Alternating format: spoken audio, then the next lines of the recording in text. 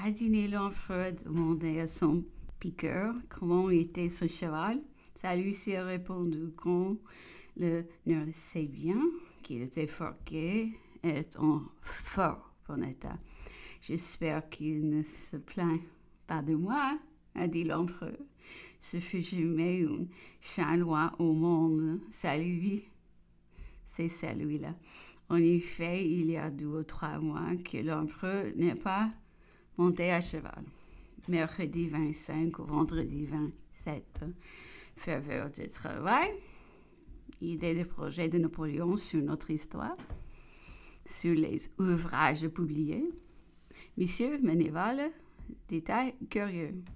L'empereur, depuis quelques jours, a une grande faveur de travail. Toutes les matinées se sont passées à des recherches sur l'Égypte, dont les auteurs anciens. Nous avons parcouru de concert Hérodote, Pline, Strabon. Ne prenons guère d'autres interruptions que l'instinct de déjeuner sur sa petite table. Le temps demeurait toujours mauvais. L'empereur a dicté littéralement toute la longueur des jours. À dîner, il nous disait qu'il se trouvait beaucoup mieux et nous lui avons fait observer à ce sujet que depuis quelque temps néanmoins, il ne sortait plus et travaillait 8, 10, 12 heures par jour. C'est ça lui-même, disait-il. Le travail est mon élément. Je suis né et construit pour le travail. J'ai connu les limites de mes jambes, j'ai connu les limites de mes yeux. Je n'ai jamais pu connaître celles de mon travail.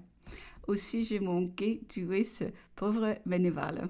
J'ai été obligé de le faire relever et de le mettre en convalescence convalescence auprès de Marie-Louise, chez laquelle son emploi n'était plus qu'une véritable sinecure.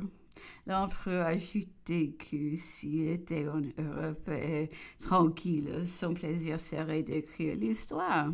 Il se plaignait de la manière pitoyable dont il la voyait traiter partout les recherches qu'il faisait chaque jour. Et lui demontrions, disait-il, au-delà de tout ce qu'il avait pu soupçonner.